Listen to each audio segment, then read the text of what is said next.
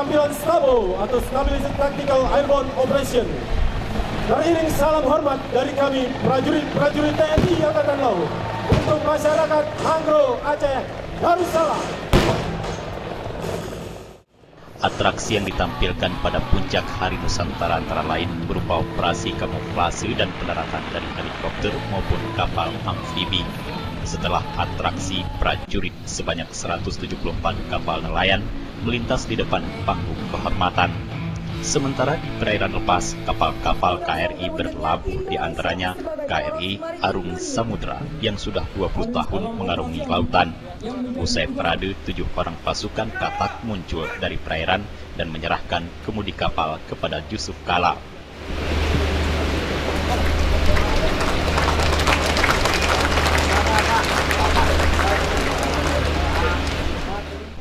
Jika menghadiri puncak peringatan Hari Nusantara tahun 2015 di Kota Banda Aceh.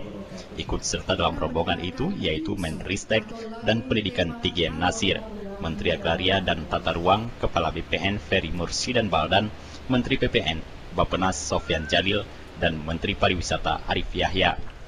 Pada kesempatan itu juga diserahkan peta rupa oleh Deputi Bidang Infrastruktur Informasi Geospasial dan Informasi Geospasial kepada Gubernur Aceh, serta peluncuran jalur Samudra Cenghu dilanjutkan dengan penatanganan prasasti oleh Menteri Pariwisata Arif Yahya. Selain itu dalam kesempatan ini juga diluncurkan infrastruktur energi untuk klaster ekonomi maritim oleh Menteri ESDM dan pencanangan pengembangan desa inovasi berbasis ekonomi masyarakat melalui PLTH di Aceh Besar. Pada puncak peringatan ini JK juga menyaksikan penyerahan penghargaan baik kepada perorangan maupun kelompok dan penganugerahan tanda kehormatan berupa Setia Lencana Wiradharma dan Setia Lencana Wiranusa.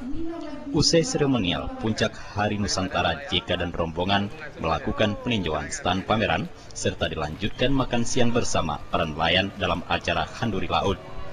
Jufrizal dan Faisal, Aceh TV.